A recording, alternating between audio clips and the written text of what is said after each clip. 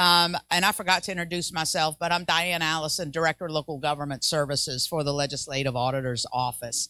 Um, and it's uh, welcome to all of you coming back. And I know that this is a very specialized topic today. This is what we've been doing in this program recent, recently is the half day session to take a really, really deep dive into one topic.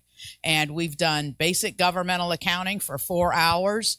So that is only for accounting nerds. You have to be fortified to be able to listen to that. Make sure you have lots of coffee. We have intermediate governmental accounting. We spent four hours learning all about procurement.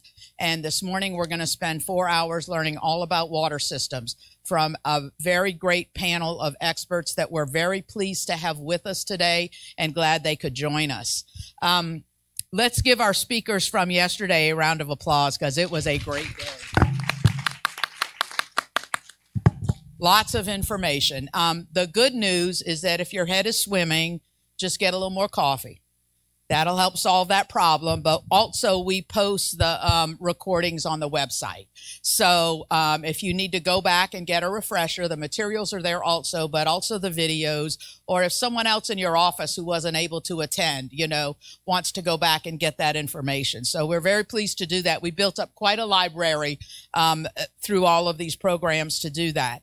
Um, one thing about today, just to let you know, we have four speakers you will not have to listen to four at once. We're taking 10 minute breaks in between just so we can refresh. And um, because there is a lot of information and um, there's not a lot of time, what we're going to do is ask you to hold your questions till the end.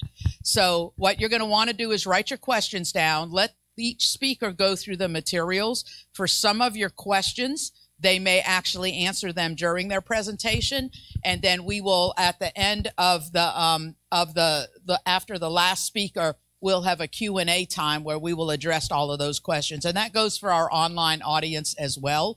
So um, speaking of our online audience we want to remind everybody about to get the credit for continuing education you're going to have to do um, the the prompts. So in each of the segments You'll get prompted four times for attendance. You have to answer three of the four to get credit um, for that attendance. And we are not able to work through any technology glitches that people have.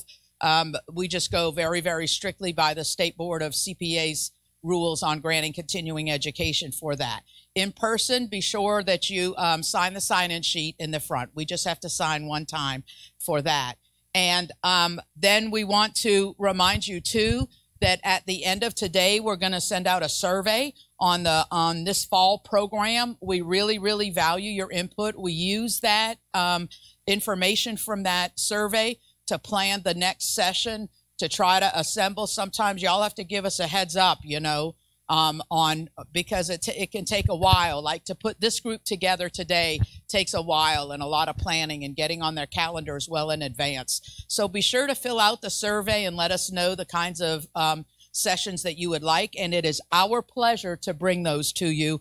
And we all learn a whole lot too from listening to each other. So, um, with that, we're going to, I'm going to, um, Lizzie Scheck-Snyder is going to come and she's going to introduce um, our first speak, our all of our speakers. No, one at a time. So she's going to introduce each speaker before, and we're going to get started with a great day.